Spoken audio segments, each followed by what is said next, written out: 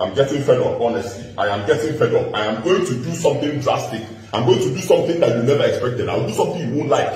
Believe me, I'm getting fed up. Because this was, I mean, this was not the plan from the beginning. Whatever, you have not the plan from the beginning. whatever it is you want to do, is no, is no, there's no problem. Do it. Do it. Let's rest. Do it, Rico. So hello guys, what's up and welcome back to my YouTube channel.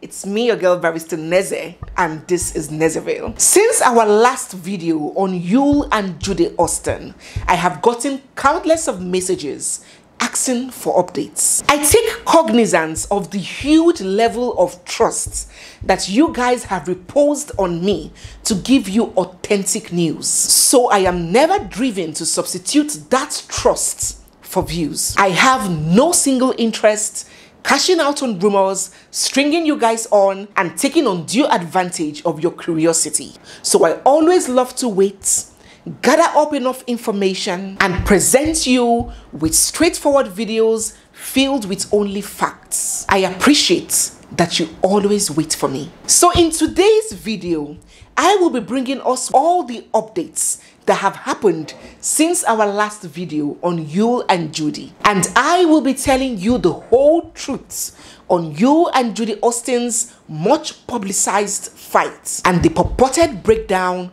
of their relationship. Watch till the very end.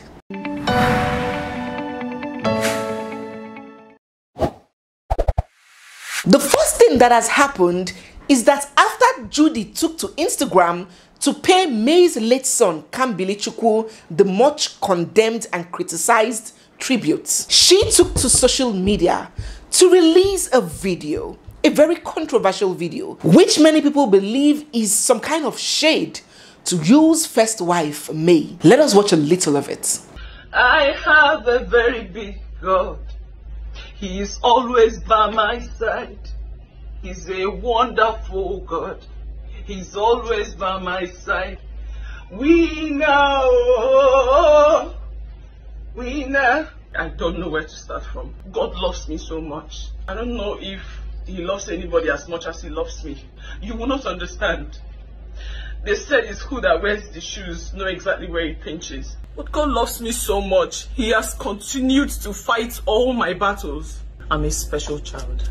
I am so special. Even till this last baby. Oh God, I have experience. So in this video, which by the way, came only one month after May lost her first son, Kambili Chukwu, Judy explains to her audience that God loves her more than every other person. That God has always been there for her right from when she was a child. That God always fights her battles for her and help her to appear victorious. She says that she is the one that puts on the shoes and knows where exactly it pinches. So a lot of people hold this very similar and disturbing interpretation to these statements uttered by Judy. They believe that Judy was undoubtedly mocking May. Something like the calamity that was supposed to befall on her head went back to sender and befell May. That is exactly the meaning that people are attributing to this snide testimony, which came just after one month after the woman whom she married her husband lost her first son. So what do you think about this kind of testimony, guys? Do you share the same opinion with all of these people? Do you think that Judy was indeed mocking May and insinuating that karma has befallen May, that she had her child successfully and May lost hers? That is the word out there. That is a lot of people's belief. Do you also share in that thought? Or do you believe that no, Judy was just giving a testimony. She has her own life. She has a right to praise God or sing or give testimony or live her life. And everything she does must not be linked or centered around me. Which of these two schools of thoughts do you fall under? The next thing that happened shocked a lot of people. Yul, the father of the late Kambili, released a series of videos on social media showing him having fun catching trips and living his best life with his other woman, Judy. In this particular video, they were singing, giggling, calling each other pet names, and you know, just enjoying themselves. Look at this. Don't me out in the rain. Back the nights when I held you beside me. One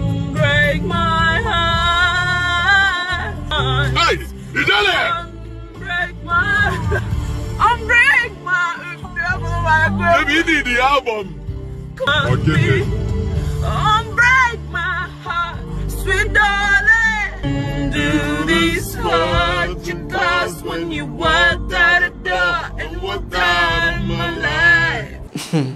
Wonderful. You see, this whole drama is no longer about a woman who took another woman's husband. No, it has transcended far beyond that. It is not just about a man getting married to a second wife. It's not just about the drama and jealousy and backlash that comes with polygamy. This whole thing has gotten deeper. It has taken a totally new dimension. It's about the question of how a man can be so happy, so social media thirsty, so unscatched, so unbothered, only a few weeks after losing his first child, his first son. Listen, every child and every son is very important to their parents, to their father, regardless of tribe. But I cannot begin to describe to you the enormity of weight that an Igbo man, a proper Igbo man, places on his son, on his first son. He is like his crown, his staff, his rod, his posterity, his future, the carrier of his name, his pride, his heritage, his continuity. He is like an extension of the man himself. Ask any Igbo man. So a lot of people are so flabbergasted about how Yul can move on so fast from the death of his first son. And I'm not just talking about maybe a six month old baby or a one year baby. I'm talking about a full fledged 16 year old boy whom he had spent 16 years living with, nurturing, loving, caring for, paying his school fees, playing dad. How is it so easy for him to become so happy in the space of one month? Smiling, jumping around, playing karaoke with another woman, showering pet names on her, while the woman who he had that child with, the woman who told him for the first time, We are pregnant, a woman who he probably rushed to the labor ward. A woman who he carried the pregnancy with, went through the sleepless nights that comes from having a newborn, nursed the child with, cared for the child with, took deliberations and decisions together on the count of that child, saw him through nursery to primary to secondary school. How that woman stays broken, devastated, and alone while he takes to the streets just one month after the son's demise, living his best life with another woman. It beats a lot of people's imagination. Do let me know what you think about this in the comment section. Are you willing to cut Yul some slack and give him a benefit of doubt? Do you think that everybody perhaps mourns differently and him coming to showcase all of this on social media might be his own way of coping, his own way of mourning, his own way of surviving the tragedy, his own way of dealing with the loss? Or do you think that he is totally out of his damn mind? The next update on the Yul and Judy situation in what now seems like a full-blown pepper mode getting activated came when Yul took to social media to share this video of Judy Austin's maternity shoot when she was pregnant for her second child with him. He titled the video Ijele Odogwu, the pet name which he calls her, which can be literally interpreted as a queen to a king. We will recall that after only a few weeks, Judy bore her child. May lost hers. And a lot of people believe that Yul should be mourning rather than flaunting the pregnancy of another woman and flaunting the entrance of another child without caring completely insensitive about the way this would make his wife feel even more devastated, broken, and hurt. But before we could digest the flagrant display of Judy's pregnancy by Yul in what people have described as the wrongest timing, Yul took to his verified Facebook page to share a video of himself and Judy in a praise and worship session. Watch this. So, Jesus need a man. Jesus made a man, onye gara ije n'elu mmiri, oh, Jesus made a man, onye gara ije n'elu mmiri, oh, Jesus made a man, onye gara ije n'elu mmiri, oh, Jesus made a man, onye gara ije n'elu mmiri, oh, Jesus made a man. You don't walk it upon the sea, Lord, Jesus, you are so good. We are saying thank you, Jesus, thank you, my Lord. Once again, this got people very triggered.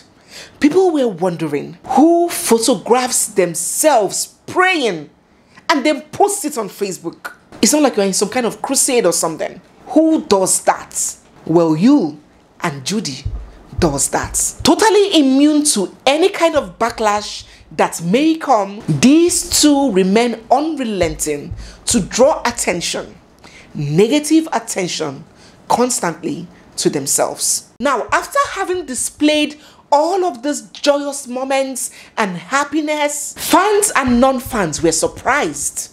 Many excited, as a matter of fact, when this video of Yul and Judy Austin in a heated argument was posted online. Watch this. You started this thing again. I'm trying to talk to you in a really phone. The best phone, let's talk. But but we are baby. This talk are linger Keep go. phone, let us talk. I, And it's, not, it's not it's stopping the talk. It's not stopping the What talk. is not stopping the talk? That was Nancy. Keep phone, let us talk. You want us to talk, keep the phone. Block man. Keep phone. Whether you're more game thing about whatever it is, it's distracting you. If I'm talking, you listen to me. Keep it to whatever it is. You keep and you listen. I'm still hearing what you're Oh, saying. you are being distracted. You How? are being distracted. This thing- How? Shortly after this episode, it was closely followed by yet another video showing them in an even more heated altercation.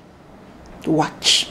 I'm getting fed up. Oh. If it's no come for. I'm getting fed up, honestly. I am getting fed up. I am going to do something drastic. I'm going to do something that you never expected. I'll do something you won't like. Believe me, I'm getting fed up. Because this was, I mean, this was not the plan from the beginning. Whatever, If I don't have a plan from the beginning. whatever it is you want to do, is no, is no, there's no problem. Do it. Do it. Let's rest. Do it, Biko. Don't be giving me headache and you think you rest. You will not rest. Give me headache, you get headache. Give me headache, I'll give you headache. Okay. That's how it works. You can't just come out like this and accept your mistake. You make a mistake, nobody is perfect. You will see all the things that I'll bring out. Baby, bring out anything you want to bring out. You think I'm afraid of you? Bring it out. Well, when this made it out, many people, well, not unexpectedly, who had condemned and strongly criticized Judy Austin for getting married to May's husband, were very excited that finally the scales are falling off Yul's eyes and they have started having misunderstandings. They were so excited to see what they have described as the beginning of the end of an evil relationship. But no, let me tell you what the truth is. You see, Judy and Yul have mastered the art of social media mind games and they are utilizing it to their advantage and enrichment. Now that they have seen that people have almost gotten bored of these posts where they project a perfect and happy relationship, they have introduced a new dimension, devised a new method to get attention, get people talking, and cash out from the whole buzz. In other words, making money from a very, very ugly and unfortunate situation. Guys, you see, if it was just a double marriage thing, a polygamy thing, a he hurt me, she hurt me situation, a betrayal story, perhaps it would have been okay. Perhaps it would have been more tolerable. But a life was lost here. A child died. Why is you so fixated on how to cash out from this tragedy? Why catch crews with such sorrow? Why is he making a fool of himself and his family for this? Does it really mean that much to him? Does he care how his other three kids with May will grow up feeling? Could this be the best way to honor and preserve the memory of his first son? Didn't he mean anything to him? Like people wonder, doesn't he care about posterity? Like, even if he doesn't love May again, does he actively hate her? Doesn't he give a single care in the world about how she feels, how she's coping, how his behavior will make her feel, her mental health? Doesn't he care anymore about his reputation? About karma? No, nobody is saying that he cannot have fun and smile and kiss and make out with his other woman, Judy. But the question that triggers a lot of people is must it be displayed on social media given the sensitivity of what has happened? Like, what exactly is wrong with this man? So, yes, contrary to a lot of people's beliefs, there is no fight or misunderstanding between Judy and Yul, at least for now. Scripted drama just for financial and attention purposes. Believe me, when or if drama begins, it will be televised, but not by either of them. But it will be known, and it will be my job to report it. Before we close this video, I would like us to share our thoughts on a very, very popular belief making the rounds. A lot of people believe that Yul is acting totally disconnected from reality and acting like someone who has lost control of his senses. There is high speculation that he has been charmed, bewitched, hypnotized, or what Africans call locked in a bottle. What do you think about this suspicion? Do you believe this, or are you leaving all spiritual suspicion out of it, insisting that he is only a slow witted, irresponsible, stubborn fly that follows the corpse to the grave? Do you think again that these two have done absolutely nothing wrong as they are not the first people to get into polygamy? Or do you strongly still believe that karma is on its journey and someday, someday, it may be in a short while, it may take some time, but certainly it will get to its destination. Do let me know your thoughts, your feedback, your suspicions, and your comments down in the comment section. So guys, we have come to the end of today's video. If you're new here, don't forget to hit the subscribe button, give this video a big thumbs up, drop your comments in the comment section and stay glued because we have so much more coming your way. Whenever something significant happens again, be very sure that I will bring it to your notice. It's me, your girl Barrister Neze, and this is Nezeville. I'll see you guys in my next one. For now, bye.